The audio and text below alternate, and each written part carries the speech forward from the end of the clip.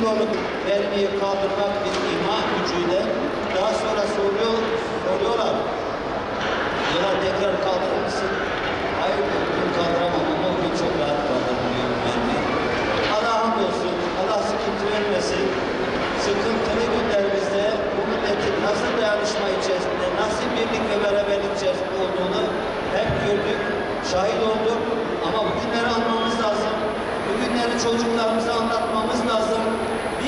yaşamamamız için iyice idrak etmemiz, iyice okumamız lazım. Büyükşehir Belediye Başkanlığı'nın Kültür Daire Başkanlığı'nın yapmış olduğu bu sergi bizzati Çanakkale'de kullanılan objelerle Çanakkale ruhunu, kültürünü buraya çok canlı bir şekilde yansıtmaları çok e, çok önemli. Ben takdir ve tebrik ediyorum. Şimdi insanlar tarihiyle, kültürüyle, geçmişiyle ancak geleceğe yön verebilirler. Burada da o geçmiş ruhu yaşattıkları için son derece mutluyuz. Büyükşehir Belediye Başkanlığı'na bu güzel etkinliğinden ötürü teşekkür ediyoruz.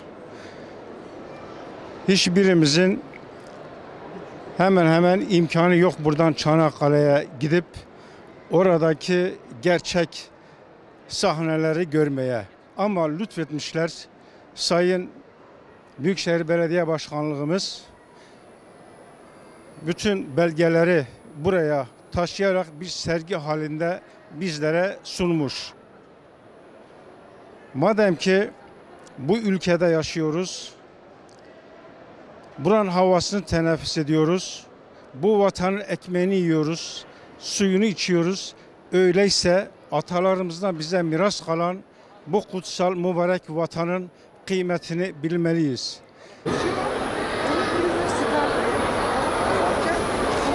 Çocuklar böyle kenara geçin. Şunlardan morfin. Çok az bizim morfinimiz vardı.